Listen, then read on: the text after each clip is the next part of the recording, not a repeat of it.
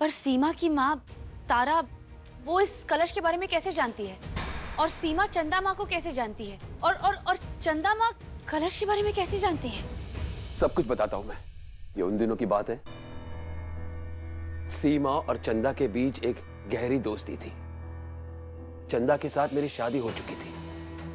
लेकिन सीमा दिल ही दिल में मुझे जाने लगी थी। एक रात सीमा हमारे घर आई। अरे सुनना चंदा। हाँ। वो क्या है ना मेरी माँ मंदिर जा रही है हाँ। पूजा करने और वो चाहती है कि मैं भी उसके साथ आऊँ।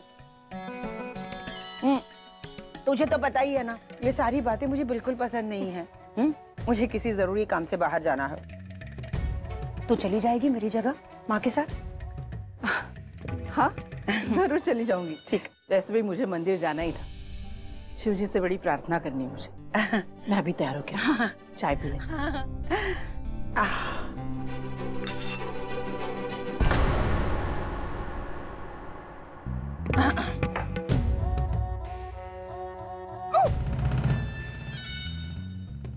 वो रात हम तीनों के लिए काली रात बन चुकी थी।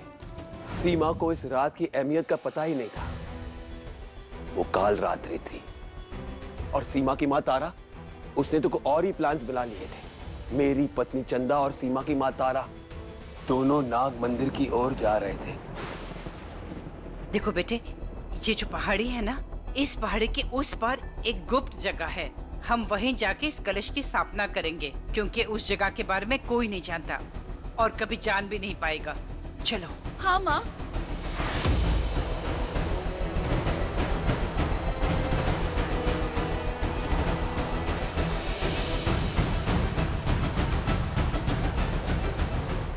जल्दी।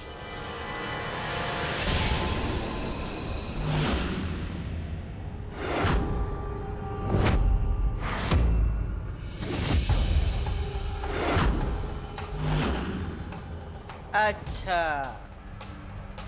दिव्य कलश तुम्हारे पास है। दे दो मुझे। दे दो मुझे। नहीं कभी नहीं।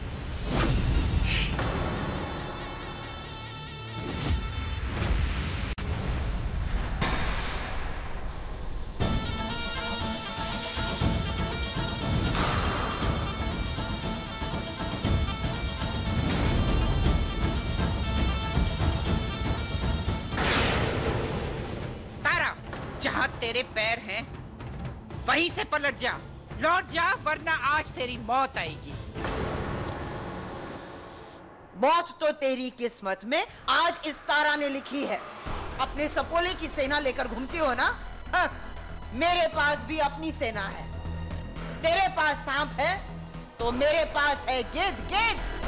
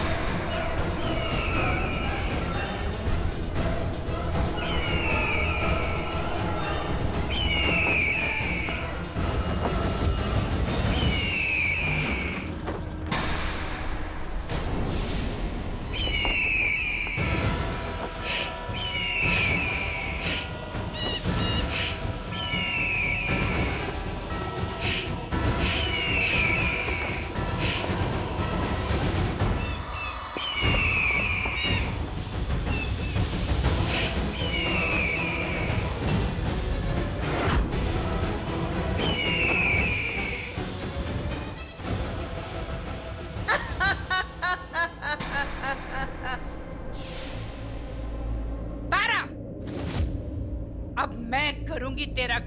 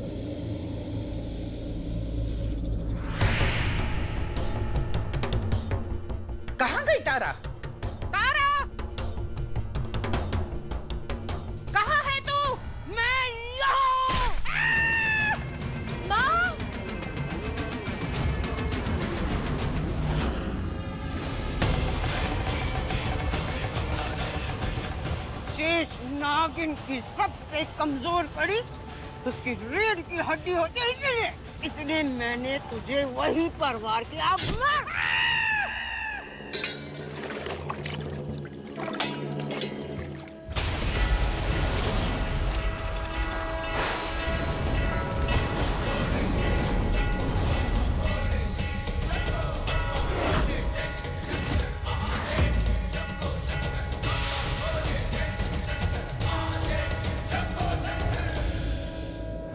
आपकी नातिन शेष नागिन बनेगी।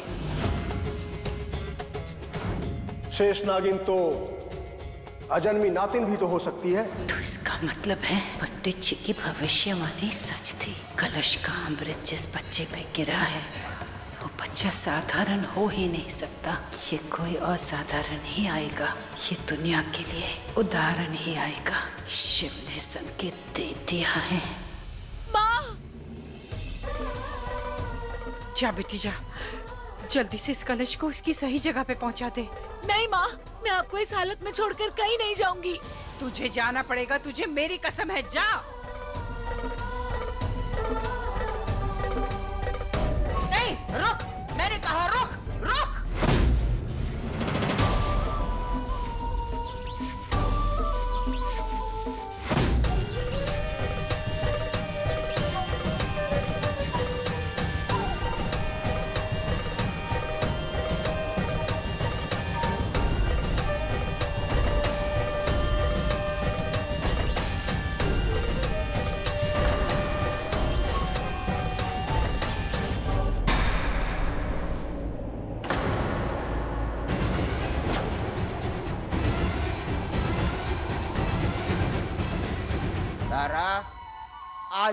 तेरा न सही, किसी और का तारा तो चमकेगा ही।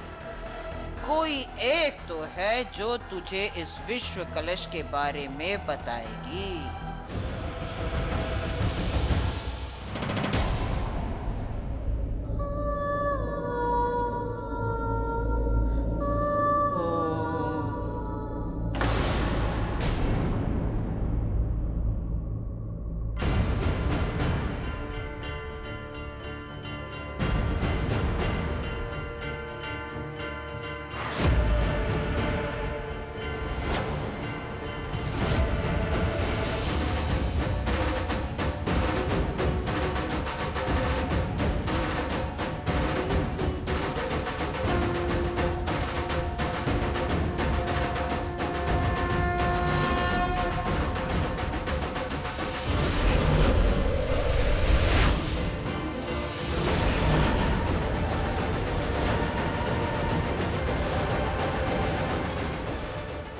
दिव्य कलश की स्थापना यहाँ हो रही है।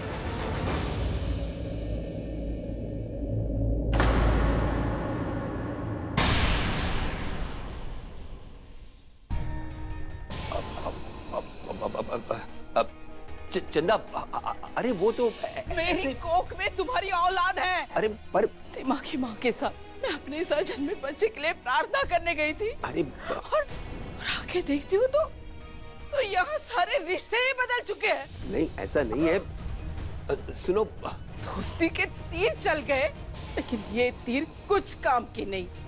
योजना बड़ी अच्छी बनाई थी तूने। तेरी माँ के साथ तेरी जगह मैं चली जाऊँ क्योंकि तुझे कहीं और जाना था। यहाँ आना था तुझे। और मैं आ भी गई। लेकिन तू भूल गई। आज काली रात है। और शायद इसीलिए तेरी माँ आज तुझे अपने साथ ले जाना चाहती थी। ताकि वो अमृत कलश तुम्हें मिल जाए। धोखे के साथ धोखा हुआ। कैसा धोखा?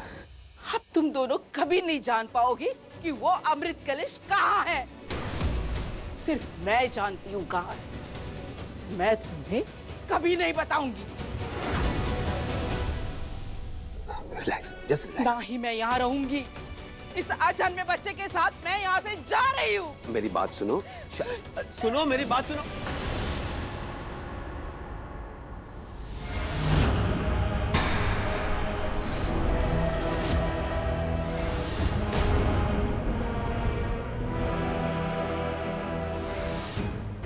नहीं जाने दूँगी मैं। पहले बता अमृत कलश कहाँ है? कभी नहीं बताऊँगी।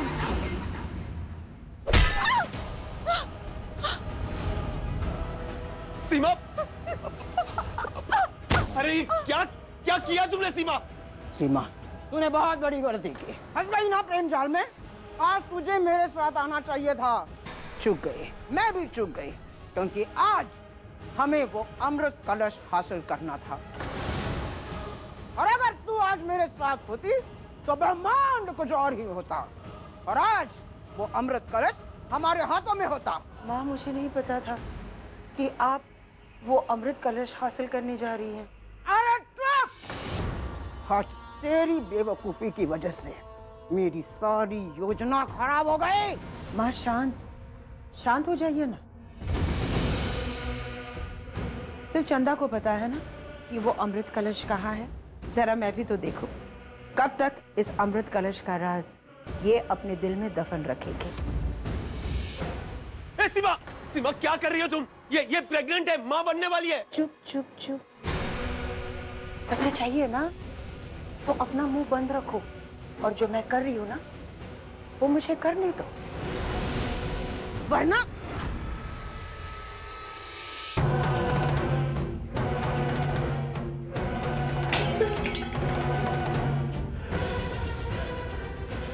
उस दिन से चंदा सीमा के कैद में है।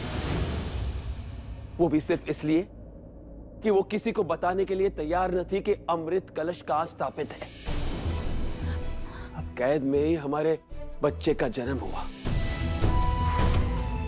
मुझे तो आज तक पता नहीं था कि सीमा ने चंदा को कहाँ कैद करके रखा है। मैं तो सालों से उसे मिला तक नहीं था। सालों के बाद उसे उस बर्थडे पार्टी में देखा। जहाँ तुम उसे वहाँ ले आई थी। बेचारी चंदा। बहुत बदनसीब है। आज तक उसने ऋषभ का चेहरा तक नहीं देखा।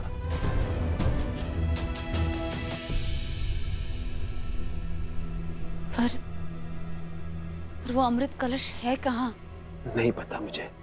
दीदी दीदी वो अमृत कलश बहुत दिव्य है बहुत भव्य है। अगर उस रात उस अमृत कलश का जल माँ के पेट पे नहीं गिरता तो शायद शायद आज मैं शेष नागिन नहीं बन पाती। प्रताप हमें किसी भी तरह उस अमृत कलश को ढूंढना होगा। बहुत जल्द बहुत जल्द वो वो अमृत कलश हमारे हाथ होगा। जय भोलेनाथ। अमृत कलश। तो असुर अमृत पी के देव बनना चाहते हैं तो ये सारी जंग अमृत कलश की है।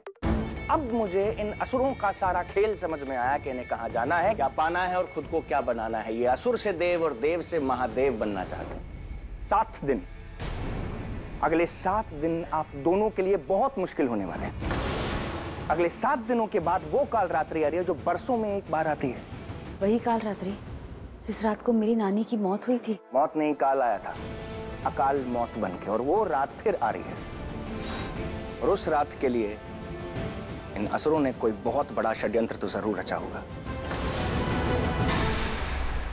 षड्यंत्र हमारे सामने है, और इस बार वो बहुत बड़ा है। सात दिन बाद हम अपना वो सबसे बड़ा वार करेंगे। इतने सालों से जिसका हमने इंतज़ार किया, वो हम हासिल करेंगे, जिसकी तलाश हमें थी। मुझे पता है, वो किसके पास है? अब तुम देखना। मेरा असली रंग। मेरी वो महाजंग सात दिन बाद इस देश में होगी बर्बादी। हाहाकार त्राहिमाम इस दुनिया के नक्शे में से।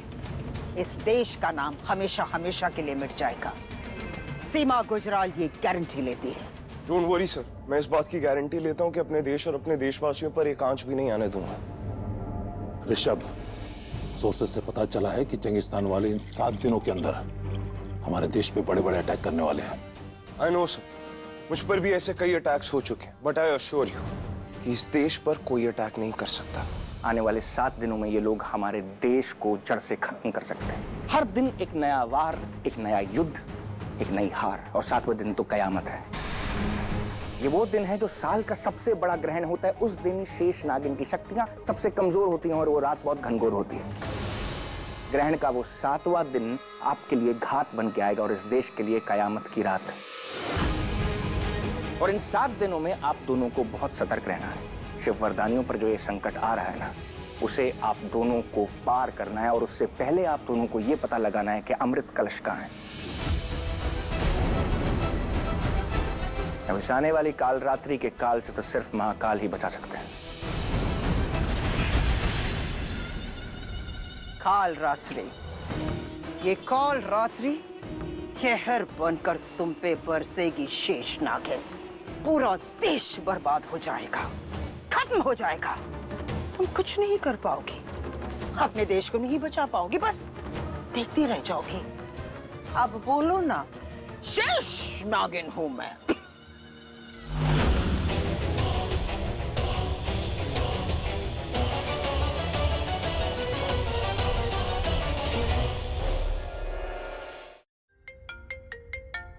एक्सक्यूज मी सर हेलो ये ये आप क्या कह रहे हैं? आप वहीं रुकिए मैं अभी आ रहा हूँ। Sorry sir have to go Rishabh यहाँ एक बहुत ज़रूरी बात बतानी है। मुझे मुझे पता है तुझे विश्वास नहीं होगा लेकिन सच यही है।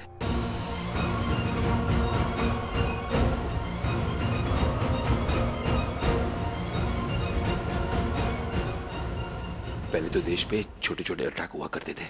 लेकिन अब बहुत बड़ा कुछ प्लानिंग बन रहा है। वो पूरे देश को बर्बाद कर देगी। आई एम सॉरी बेटे ये बात मुझे तुझे पहले बता देनी चाहिए थी लेकिन क्या करूँ सीमा के कहने पर? मैं मैं अपनी यादाश्त खो बैठा ये एक्टिंग कर रहा था। वैसे भी सुनने सुनाने का वक्त जा चुका है। क्या क्या? कितना बड़ा बेवकूफ़ हूँ ना मैं। ऋषभ। मेरे ही घर में इतना बड़ा देशद्रोही रह रहा था और मैं उसे पहचान ही नहीं पाया। जान नहीं पाया कि वही गद्दार मेरे देशवासियों की जान ले रहा है। नहीं नहीं नहीं नहीं ऋषभ नहीं नहीं नहीं मैं, मैं नहीं। तुम्हारी माँ तुम्हारी माँ माँ ने ये सब किया है। मैंने नहीं! माँ मुझे सब कुछ बता चुकी हैं ओके सब बता चुकी हैं वो मुझे आपके बारे में।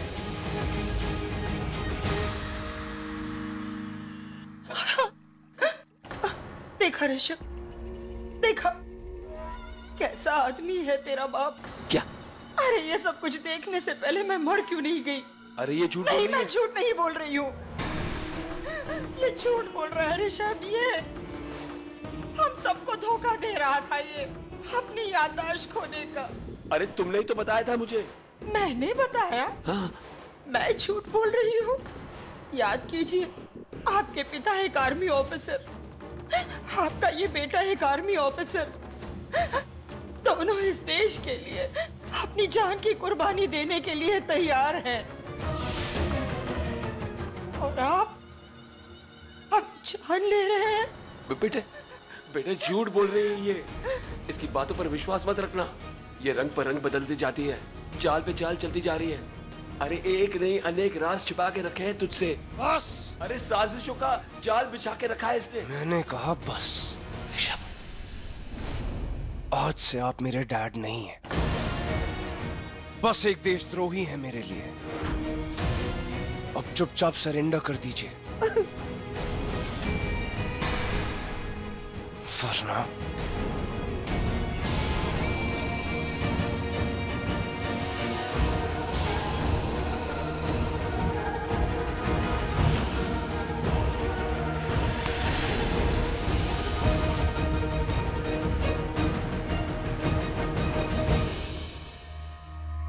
आओ, नागिनो, आओ। अपना जहर बरसाओ। क्या लगा था? क्या लगा था तुम दोनों को? मेरा पर्दाफाश करोगी? सबकी नज़रों के सामने मुझे गिराओगी? अब कौन गिरता है और कौन गिराता है? देखते हैं। अब हटो।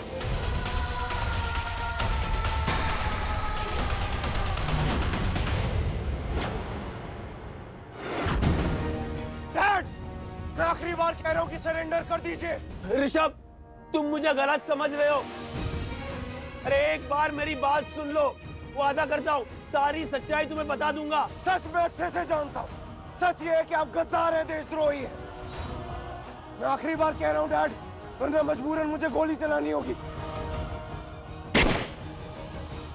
डैड मैं आखिरी बार कह रहा हूँ नीचे आ जाइए। अगर तुमने मेरी बात नहीं सुनी ना मैं वादा करता हूँ तुम्हारी कसम मैं यहाँ से कूद कर अपनी जान दे दूँगा। मैं आपसे एक आखिरी बार कह रहा हूँ। Rishabh ji Rishabh ji please please hyper होके कोई एक्शन मत कीजिए।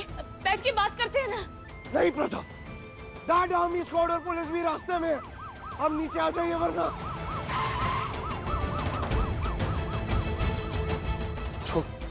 ऋषभ संभालिए अपने आप को हम भी आ गए ऋषभ आखिरी बार कह रहा हूँ तुम्हें अगर मेरी बात नहीं सुनी मैं यहाँ से कूद कर अपनी जान दे दूँगा।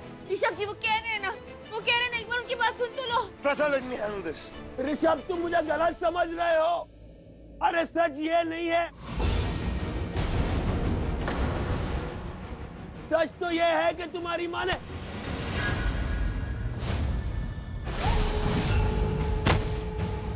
Dad dad. डैड डैड पकड़े जाने के डर से इन्होंने सुसाइड कमिट कर लिया। आप ऐसा नहीं कर सकते। हम बाहर से और ऊपर से कूदने की क्या ज़रूरत थी? कूदने से पहले एक बार एक बार मेरी शक्ल तो देख लेते। ललित जी अब मैं किसके सहारे जीऊँगी? जीऊँगी मैं। चलो। चाचू साँसें अभी भी चल रही है जल्दी से इन्हें हॉस्पिटल ले जाना होगा कम ऑन ललित जी ललित जी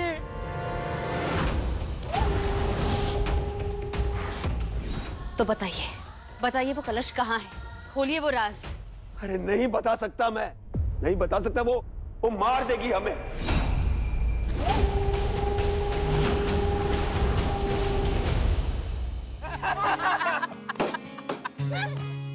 जब से ये प्रथा भाभी इस घर में आई है जिससे देखो प्रथा प्रथा प्रथा बस उन्हीं का रूल चल रहा है। सच में यार इस प्रथा भाभी को ने इस घर में बैन कर देना चाहिए। जब से इस घर में आई ना सब कुछ बंद होकर रह गया। क्या लाइफ यार क्या एंजॉय करते थे but now no enjoyment please guys ऐसे तो बात मत करो ना प्रथा भाभी के बारे में। तुम लोगों ने ना भाभी भाभी करके उसको सिर पे चढ़ा लिया। गलत क्या है इसमें?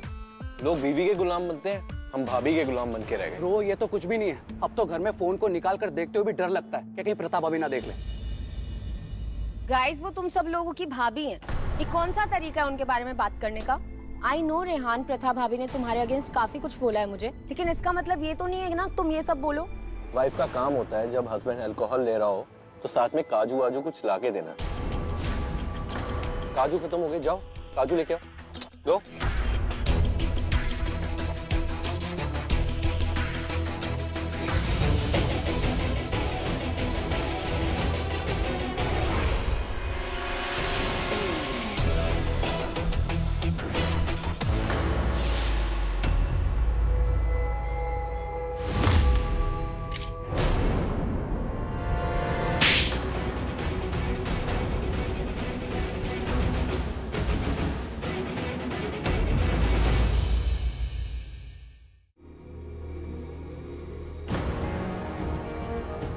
क्या हुआ? वो आपके पति है। मैं जानती हूँ छत से आप ही ने उन्हें धक्का दिया है। तो खुशी के मारे तुझे तो दिवाली के दीप जलानी चाहिए।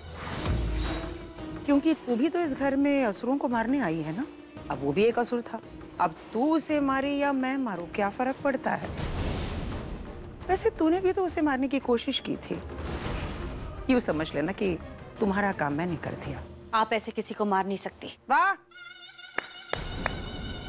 वाह। वॉट अ ग्रेट फिलोसफी तू मारे तो मसीहा। मैं मारूं तो कातिल? मैंने उन्हें मारने की कोशिश की थी क्योंकि तब मेरी नज़रों में वो असुर थे। पर अब नज़ारा बदल गया है। अब मुझे सच पता चल गया है कि असुर वो नहीं असुर आप है। लेकिन वो असुर तेरे पति का बाप है। देखना एक दिन गुस्से में आकर ना वो तेरे पति को मार देगा। या शायद एक दिन ऋषभ को आपका सच पता चल जाएगा। और वो आपको मार दे। उस दिन से डरिए सासू माँ। मैं उनसे प्यार करने लगी हूँ। हम्म यू नॉटी पता है। अक्सर शादी के बाद कुछ दिनों तक ऐसा ही होता है। लेकिन उसके बाद अपने ही पति को मारने को दिल करेगा। ऐसा ही एक दिन आएगा तेरी ज़िंदगी में भी जब इसी तरह अपने पति को धक्का देकर तू उसकी जान ले लेगी। Excuse me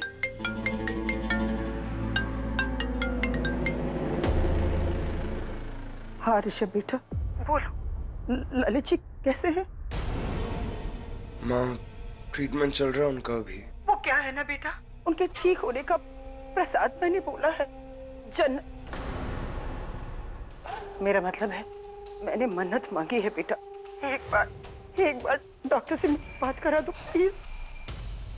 excuse me doctor माँ बात करेंगे। ओह। हेलो? डॉक्टर साहब डॉक्टर साहब मेरे पति कैसे हैं? वो ठीक तो है ना लगता है आपने अपने पति के लिए दिल से दुआ की होगी। भगवान से बहुत प्रार्थना की होगी। इसीलिए आपको उसका फल मिल गया। थैंक गॉड आपके पति बच गए। बच गए। हाँ क्या, कहा आपने डॉक्टर साहब? वो वो वो बच गए। थैंक गॉड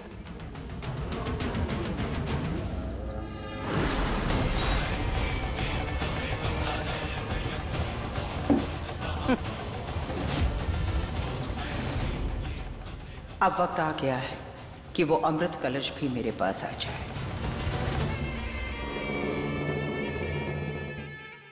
सीमा दिन ब दिन बहुत खतरनाक होती जा रही है। हमें चंदा माँ की याददाश्त वापस लानी होगी हमारे पास वक्त बहुत कम है। हमें उन्हें किसी भी तरीके से याद दिलाना होगा कि हमारी माँ ने वो कलश कहाँ छिपाया है। चाहे कुछ भी हो जाए, वो कलश सीमा के हाथ नहीं लगना चाहिए। दीदी, मेरे पास एक आइडिया है। आप एक काम करो, आप चंदा माँ के कमरे में जाओ, मैं आती हूँ।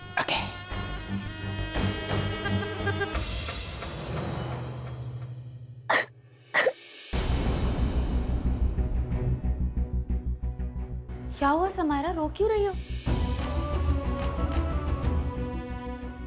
क्या अभी अब सही थी। रेहान के साथ कुछ तो गड़बड़ है। आपने हमेशा मुझे वार्न किया कि मैं रेहान से शादी ना करूँ। पर फिर भी मैंने उससे शादी की। वो एक अच्छा लड़का नहीं है, भाभी। मुझे ये बात अपने भाई को बतानी है। मैं उनको कब से कॉल कर रही हूँ, पर उनका फ़ोन नॉट रीचेबल आ रहा है। यश ने मुझे जाते हुए कहा था कि समायरा को जब कभी अपने भाई की ज़रूरत पड़े तो मैं उसका ख्याल रखूँ। मुझे आज समायरा का साथ देना ही होगा।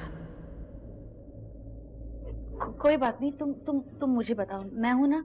तुम्हारी प्रॉब्लम क्या है? अभी? हाँ। जो प्रॉब्लम है वो तो मैं अपने पेरेंट्स को भी नहीं बता सकती। पर हुआ क्या? भाभी मुझे लगता है रेहान बहुत बड़ा फ्लर्ट है। वो न जाने एक साथ कितनी लड़कियों को डेट कर रहा है। और सबकी ज़िंदगी बर्बाद कर रहा है भाभी।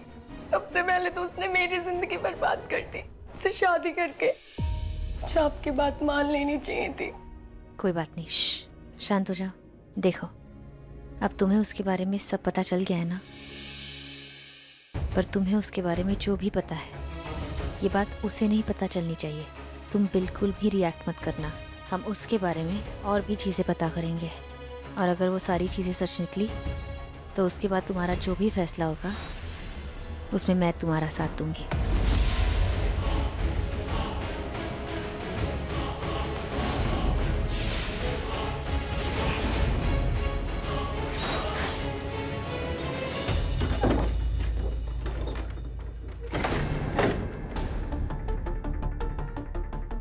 तुम्हारे लिए एक गिफ्ट लेके आया हूँ। कैसा गिफ्ट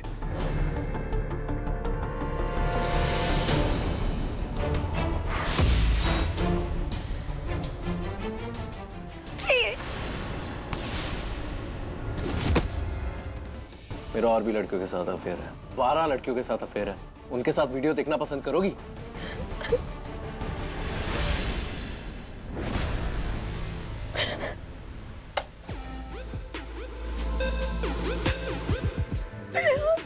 मेरे कज़न के सामने मुझे थप्पड़ मारा था ना?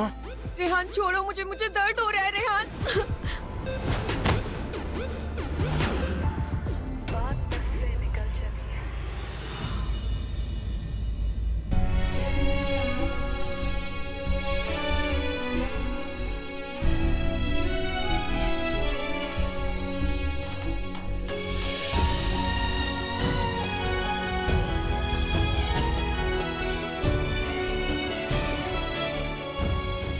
चंदा माँ, आप जानती हैं, काल रात्रि बहुत सालों में एक ही बार आती है।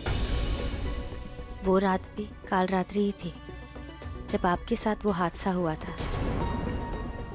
प्लीज़ कुछ याद करके बताइए ना, उस रात को, उस काल रात्रि को नागमहल में क्या हुआ था?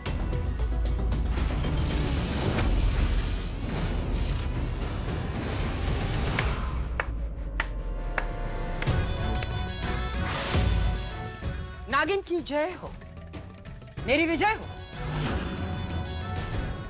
थैंक यू सो मच प्रथा। इतने सालों से इस चाँद को मैंने इसलिए कैद कर रखा था ताकि ये मुझे बताए, इतने साल पहले उस काल रात्रि को, उस कलश को इसने कहा छुपाते हुए देखा था। पर देखो ना, उस रात के साथ साथ इसके दिमाग में भी ग्रहण लग गया, जो आज तक नहीं हटा। हर रोज मैं इसे खुरेती रहती हूँ। लेकिन आज तुम मेरा काम कर रही हो।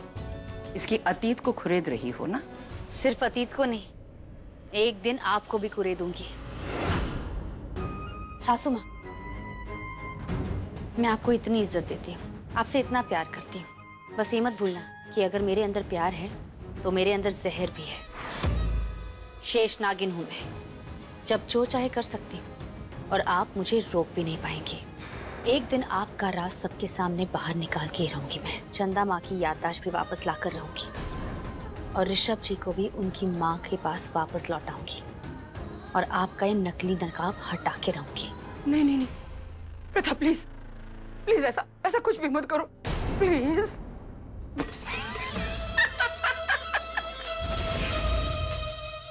तुझे क्या लगा? तू मुझे डराएगी और मैं डर जाऊँगी। हाँ, इस चाँद को चुरा कर लाई मैं। और इसकी चांदनी को चुराएगी तू? सासुमा आपने तो सुना होगा ना कि जो जितना हंसता है उतना ही रोता है। सारे असुरों का यही अंजाम होगा। पर आपका अंजाम तो आज ही आ गया है। शेष ना की ना गई है हाँ,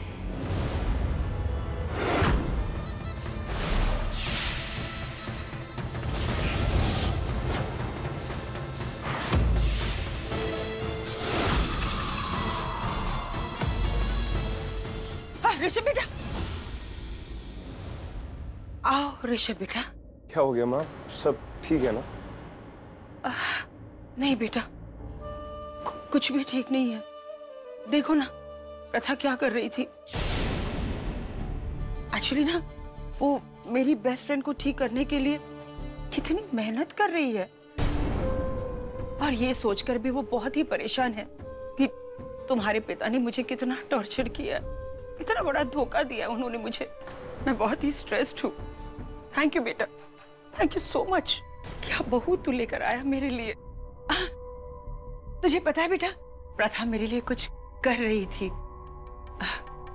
प्लीज़ प्रथा बोलो ना क्या कर रही थी तू मेरे लिए?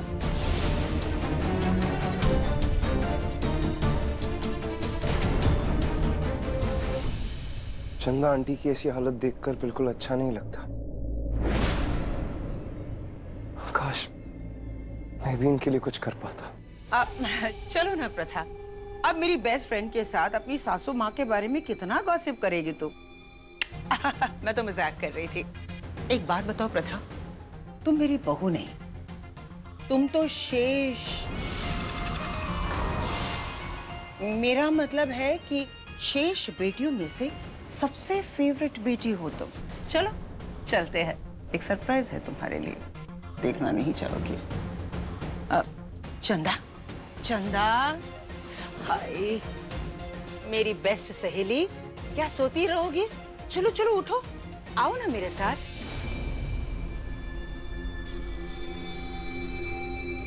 चंदा देखो तो सही कौन आया है।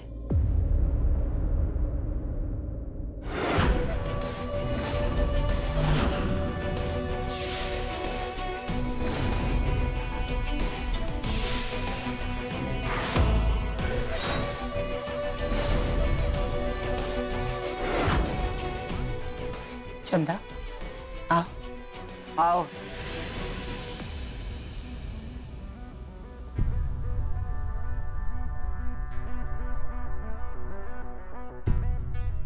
माँ ये कौन ऋषभ बेटा ये चंदा का खोया हुआ बेटा है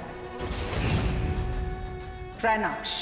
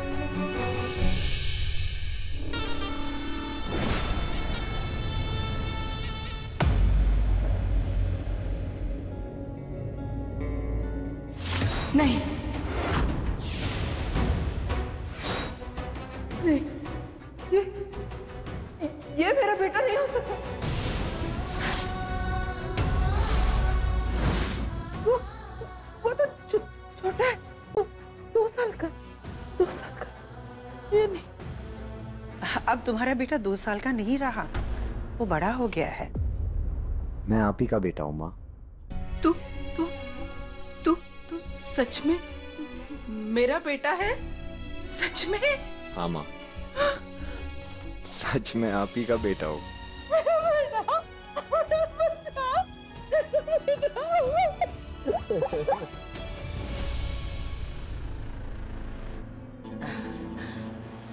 प्रथा?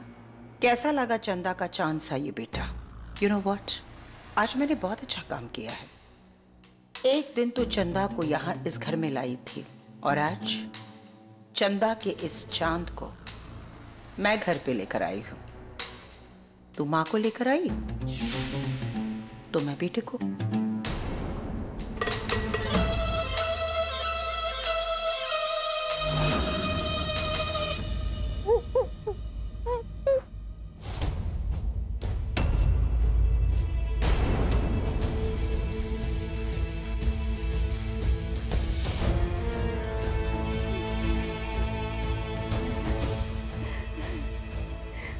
Thank you guys I thank all of you आप लोगों ने मुझे अपनी माँ से मिलवा दिया।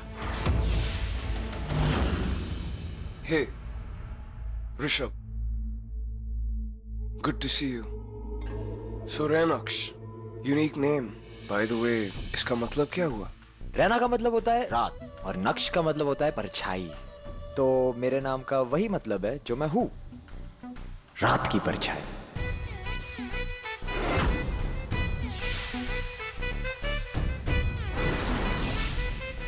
तुम्हें पता है, हमेशा मुझे ना एक ही डर सताता रहता था कि मेरी माँ कहाँ होगी, किस हाल में होगी, ठीक होगी या नहीं होगी। आज पता चला कि आप सभी के साथ, अच्छे लोगों के साथ थी। आप सभी ने मेरी माँ का ख्याल रखा। अगर आप लोग नहीं होते तो शायद मैं अपनी माँ से नहीं मिल पाता। थैंक यू गाइस चलो माँ, अब मैं तुम्हें अपने घर ले चलता हूँ। चलते हैं। सीमा ने चंदा माँ को घर से बाहर निकालने का ये रास्ता निकाल लिया है। नहीं नहीं। मुझे किसी भी तरह इन लोगों को यहाँ से जाने से रोकना होगा। ऐसे कैसे तुम इन्हें यहाँ से लेके चले जाओगे?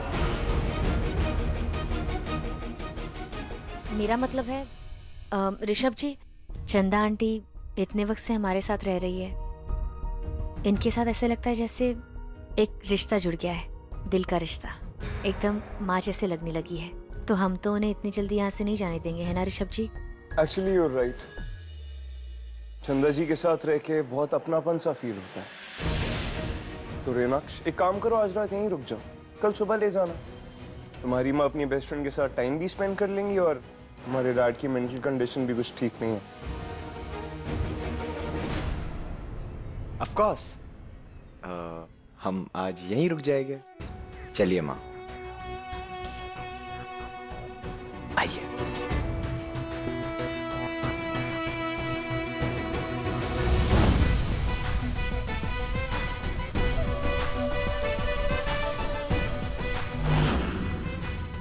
ये क्या था? इसके छूने से मेरी चमड़ी जल क्यों गई? कौन है ये लड़का? ये सीमा पता नहीं किस लड़के को घर ले आई है, जिसके छूने से आपकी चमड़ी जल गई। दीदी, हमें जल्द से जल्द चंदा माँ की याददाश्त को वापस लाना होगा। मुझे लगता है कि आज जब जब मैं उनसे थोड़ी बहुत पूछताछ कर रही थी, मुझे लगता है उन्हें, उनकी यादें थोड़ी थोड़ी वापस आ रही थी। अगर आज सीमा कमरे में नहीं आती ना तो मुझे लगता है कि उनकी सारी याददाश्त वापस आ जाती। है दीदी मुझे लगता है हमें एक और बार कोशिश करनी चाहिए और वो भी आज रात को ही। वरना वरना कल सुबह वो रैनाक्ष चंदा माँ को लेकर यहाँ से चला जाएगा। मुझे ये लड़का बहुत अजीब सा लगता है। आप उस लड़के की चिंता मत करो। मैं शेष नागिन हूँ। वो मेरा कुछ नहीं बिगाड़ पाएगा। अब आप घर जाइए मैं चंदा माँ से मिलती हूँ।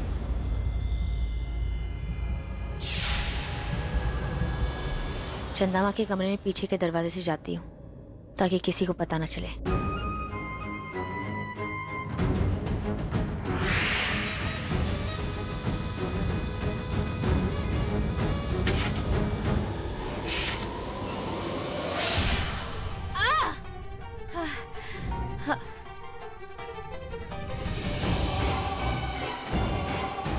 कौन है यहाँ, जिसने मुझ पे वार किया? और वो भी ऐसा वार कि मैं आगे ही नहीं बढ़ पाई। ऐसा कौन है यहाँ?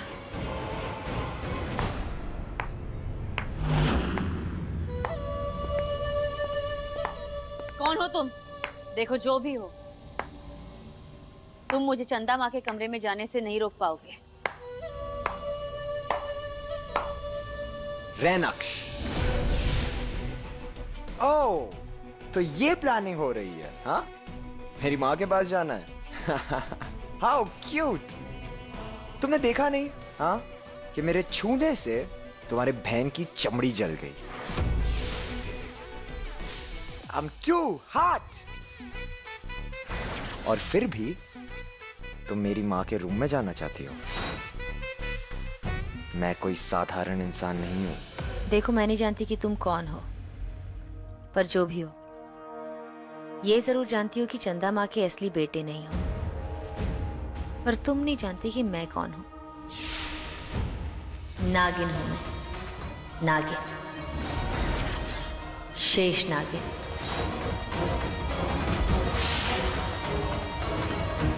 वाओ पर तुम नहीं जानती कि मैं कौन हूँ।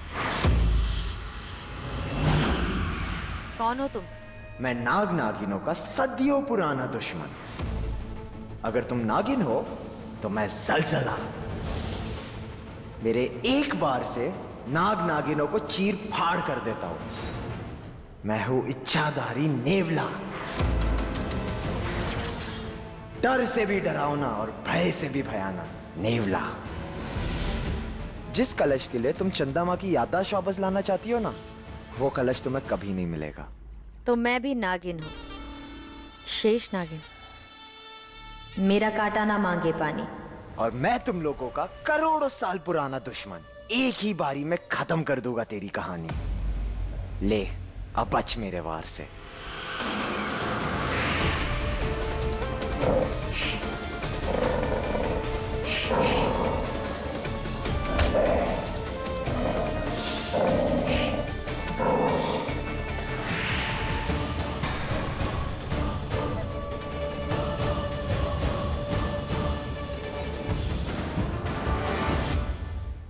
देख लिया मेरा वार?